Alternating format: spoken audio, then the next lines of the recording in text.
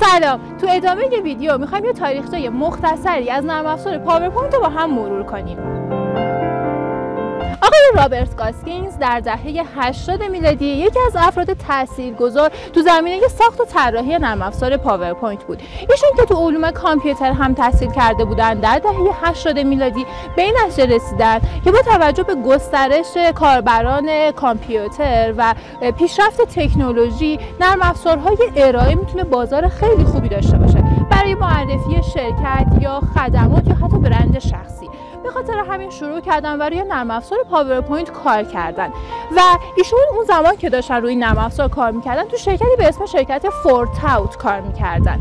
که بعدها شرکت Forethought توسط شرکت مایکروسافت خریداری شد و به خاطر همین هستش که در حال حاضر ما نرم افزار پاورپوینت رو به مایکروسافت پاورپوینت می‌شناسیم. اما در ادامه اگه بخوایم یک آماری رو هم از آقای رابرت گاسکینز در مورد میزان استفاده از نرم افزار پاورپوینت بهتون بگم که البته این آمار برای سال 2003 میلادی یا سال 62 شمسی خودمون هستش.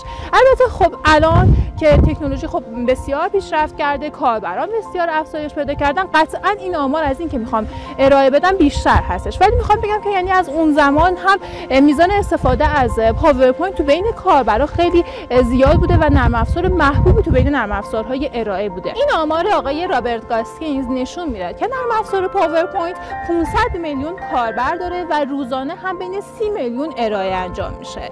به خاطر همین هستش که الان هر وقت که ما صحبت طراحی اسلاید میشه نرم افزار پاورپوینت رو به یادمون میاد.